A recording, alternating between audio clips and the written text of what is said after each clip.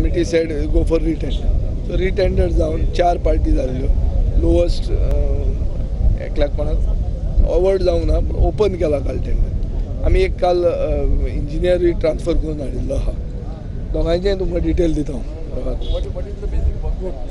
basic work is complete fish market will have a new look only the reformation only the fish market हय हय retail retail so this will have that uh, iced. Uh, yeah this will have the steel this this will have music this will have goan art this will be a posh market other than air condition everything will be there.